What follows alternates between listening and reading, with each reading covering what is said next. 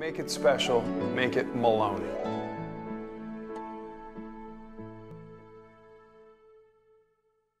This segment of the Port Jeff Pulse is sponsored by Houndstown in Port Jefferson, home to the happiest dogs on earth.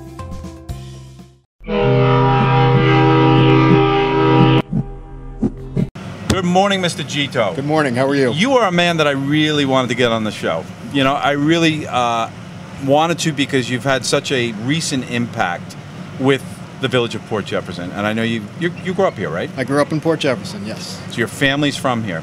Did you go to Port Jeff High School? I went to Port Jeff till eighth grade. I ended up at the Stony Brook School. Okay. Not too far from here. Yeah. Uh, but I had a great experience at Port Jefferson, great school district. I just want a little change, so that's all that happened there. So actually, let's start with that. Do you have a lot of experience on the water because you lived in Port Jeff? Did you do you, what, what's your thing to do before, say, 25 years old? What did you do? In Port Jefferson? Yeah. Uh, yeah, I loved being on the beach, playing all sports. I was really into tennis at the country club. Yep. I was competitive there. Uh, I was a big swimmer. So those, those are my main interests. Yep. Uh, back growing up, like you said, before 25. Then I found out we have a mutual uh, contact. Uh, he's my cousin. He's a, he's a great guy. I know you'll agree with me. Anthony Montani, Anthony Montani Landscaping. Uh, that was so funny too how we made that connection too. very small world. Uh, got to meet Anthony few years back now and did some work in my home, and now we brought him in on the commercial side of things. Yep. And you know, like you said, great guy, and uh, great work work ethic, and the quality is, is better than none. It's great. It's great, great guy to know. Um, you are a member of the Port Jefferson Chamber, and I believe you're a director. Correct. I'm also on uh, board directors for the Business Improvement District as well. Excellent. So describe what you see as a 2017 Port Jeff and what your current project is now. So Port Jefferson, obviously, it's going through quite a revitalization, especially uptown. Uh, that's our most recent project. Uh, I guess let me talk about that Sure. a little bit. Uh, well received. thank you very much. And much needed. so we're excited. We're, we're a little nervous too, which is why we had built it in two phases. The total project was 74 units. Um, each property, each building has its own separate garage level, fitness center. There's a common courtyard, a screening room, has all the amenities that people are looking for uh, these days. And really, it's a, it's a luxury apartment complex, really nice quality. Uh, the area, obviously, is hopefully going to revitalize, and this is yep. hopefully a jump start to that revitalization.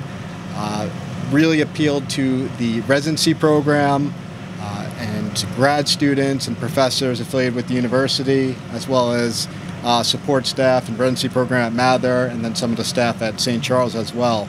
Uh, there's desperate need for Desperate. luxury housing uh, in this area, and no one minded that you know the area isn't downtown Port Jefferson just yet. Uh, we're hoping it gets to that point. We were, if we knew it was going to be as successful as it has been, Right. we would have built the whole thing in you know one single phase. But we just opened a second phase. Both phases Conservative. were You did the right pre-leased, thing. and Yep.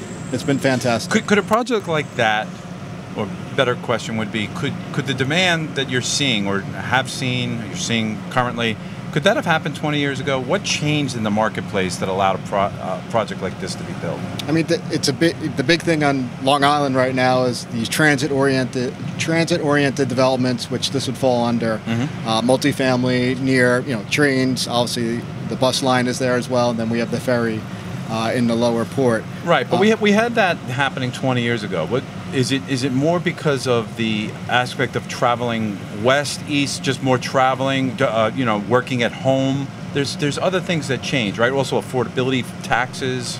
Well, that that's just it, Yeah. right there. Homes are, have gotten very expensive to purchase. The mortgages, the taxes, the insurance, all costs have gone up.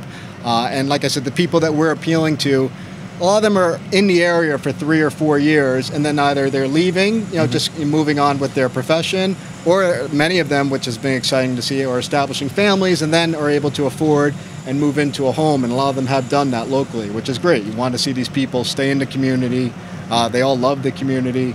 Uh, back to your question about you know how Port Jefferson is evolving has to do. I think a lot of that has to do with the retail industry right now, uh, with online retailers, chain, you know, taking big boxes uh, out of Yes. you know changing the whole scope and the whole landscape. landscape, Of, exactly, yes. everything has changed. So people really want more of an experience. So a downtown area and hopefully uptown Port Jefferson, people want the experience. You can walk along the water, have a bite to eat, and then shop in some of the smaller boutiques. So stores. true. So hopefully that trend continues. And Port Jefferson can feed off, you know, that new trend and where things are starting to move towards. Uh, may I ask, what is the market rate for? If, by the way, is it one, two, and three bedrooms? What, It's what's your uh, layout? a couple studios, but for the most part, they're one and two bedroom, predominantly one bedroom units. Uh, a one bedroom range is anywhere from 1850 up to 2300 per month plus Okay. utilities. And the two bedrooms range uh, 2400 to say 2700 per month plus utilities. Yeah, so I that's market rate for sure. That's that's to me. It's not. It's not cheap, but you know when you take into account you're not paying maintenance fees, insurance, or taxes. Well, here's the thing. It, it may not be cheap, but but for Long Island, it's very normal because uh, you know you and I both know people are paying twelve hundred for basement apartments, illegal by the way. Correct. So when you take that into effect, and you, you're a professional, I mean, look, look, let's these. You should be working, right? If you're working, you're going to consider a place like this. I've said this on the show before. You know, you know what it costs to maintain a home. It costs that a month to maintain a home. Correct. So, you- you know, I've seen some commenting, for example, on this new project down here, which probably has a market rate of a little more, but then again, you are Harborfront. Absolutely. I just wish people would look at the entire picture of it. You know, luxury living, waterfront, uniqueness, stellar, brand new, beautiful, on both of your projects. Um, No, I'm this project, this yeah, project the Tritex, you know, they always do a fantastic job with any of the jobs that they've taken on. Oh, thank you. Um, definitely commend them, and I, like you said, I think people need to give it a chance, let their project be completed, and I think they're going to be wowed by the final result there. And it- it's adding people down here, it's adding money to the tax base, which this village will need, especially the school district.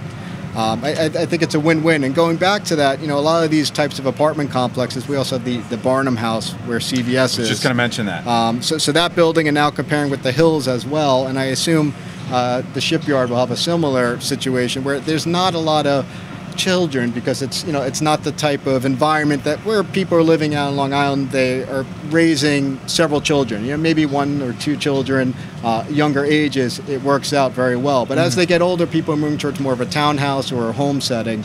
Uh, so that being said, the tax base is increasing. But you're not adding that many children to the district, so I think it's a win-win. It is a win-win. I, I'm all for it personally, and uh, I think most most people can see that the complexion of Upper Port, uh, you really have jump-started. So uh, I think you have a lot to be uh, proud of. I No, re- we, are. really We're, do. we're excited, and you know, since we, we live and work in the community, our office is based in downtown Port You're Jefferson. committed, yeah. We're committed. We're not here just to make money off a project. Obviously, that- you know that is part of it. Obviously, Um, but we really want to see the area be beautified, and, and it's changing. It will change. It's coming. I know we're specifically looking at other projects up there as well as other local developers, and I think if everyone does what they're hoping they can do, uh, you're going to see quite a transformation up there within five years. I was going to ask you. I was going to say five to seven years, probably. Uh. Yeah, absolutely. You'd love Uh, to see five years. Well, unfortunately, the approval process you know, Is it's what it is. It is. Yeah, you're, you're looking two to three years probably for a lot of these approvals to take place. Right. And then once you get the building constructed, you're right. Five to seven years is about right where you should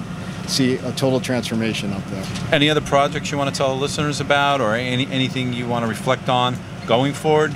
You know, from a company that you can talk about, actually, uh, or is it basically centered around Port Jeff? Do you ever do anything outside of Port Jeff? Absolutely, yeah. Most of our, pro- you know, we have shopping centers, Mm-hmm. office buildings, and, and multifamily throughout Long Island and, the city, and the boroughs. Uh, we also manage properties, third-party management. Um, so our, our fo- we, we're pretty diversified in terms of we don't really get into hospitality or industrial, but we have some of those big box store shopping centers. Uh, we have office complexes where you know those markets are always constantly changing. So our time is spread throughout most of the island, uh, anywhere from Elmont to Mattituck and Riverhead, uh, and then we're in Manhattan and Brooklyn as I well. didn't realize that. So, Glad I so asked. we are all over. Your dad started the business. He did start the business. Can you tell me a little bit about that history? What year that was? Do you have brothers in the business? I, I have two brothers. They're, they're not working with us. They're Yep. sort of in the business, Yep. but they're not working with us directly at this point. Um, but he started in the 80s. He was in the supermarket business, built over 140 supermarkets. Uh, joined up with a couple gentlemen back in the 80s, and they went into Excellent. developing a couple shopping centers and office buildings. And then that grew into where we are today. Is your dad like completely understanding just, for example, how much power an Amazon.com has in terms of how fast things have changed in the last 10 years? Does he, did he see that coming? Does he understand that really changes the complexion of our society from Abs- a retail point of view? No, absolutely. And he's you know he's leaning on myself You're and some of the younger right. people in my office to kind of give him more insight of where that's heading. Um, but we do have, like I said, some of these big box tenants, and the negotiating power and the amount of those tenants that are available to fill large spaces. Uh, there are a lot of quite a few Yep. uh, fewer to choose from these days. Uh, they kind of have the power in their hands. So he's very well aware of it because we're negotiating and dealing with them on a very regular basis. Uh, where it's all going to lead, who who knows? You know, are these malls and shopping centers going to become It's more of these isn't it? lifestyle entertainment you know, hubs? Will they add apartments to it? You know, the market will change. It will survive. Uh, it's just a matter of what's going to happen Right. with everything that you see today. And it's it- great that you're able to draw on his experience because some things actually don't change in the building business, and you can draw on his experience from that perspective. Absolutely. Well, what I've learned from him is, you know, he's conservative.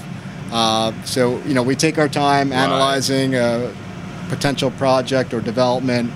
Uh, so I, I've learned from him, take our jump at things as quickly as sometimes Right. I'd like to. That's kind of my generation is, you know, with, with emails and everything, you just want to jump at everything as Sure. quickly as possible. So that's one thing I, I could take from him. Take my time, analyze a particular deal or situation, and we have a conservative approach, which has been It's a balanced for approach us. now because of that. Absolutely. So the second phase, what percentage of that is rented? Everything was 100% pre-leased before we opened the. Incredible.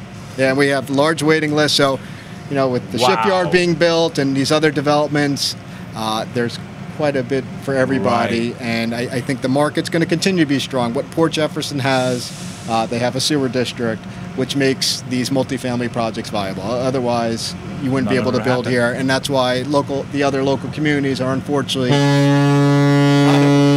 not able to. Hey, this guy got it right. This ship, this driver got it right. What are ship drivers called? Captains. this captain got it right. He did the three departing. He did a That's good job. funny. But no, Sorry but about that, but that's what makes Port Jeff special. We- Yes. We, have, I mean, there are a number of things that Like Rocky Point doesn't have that, They don't have example. sewage, so you can't put build a hundred unit complex Right. without building your own sewage treatment complex Right, uh, right, sanitation system, which gets a little bit more expensive Sure, and sure. involved. So it's special here in our proximity to Stony Brook University. The university keeps expanding. Uh, and it's great. It's help you know the services that have to be provided, the people that work, live, and service and go to school there. Uh, it's helping with the apartment community, the rental community. Good stuff. Keep doing what you're doing. No, we're trying. Thank you're you. Are really a great quality organization, and it's been a pleasure talking to you. I appreciate it. Thanks You know, for thank the you. So, opportunity. folks that want to uh, understand uh, your projects in the future, what website should they go to? uh, thegittogroup.com. there it is. G I T T O group.com. Thanks again, Rob. Pleasure. Thank you. Thank you.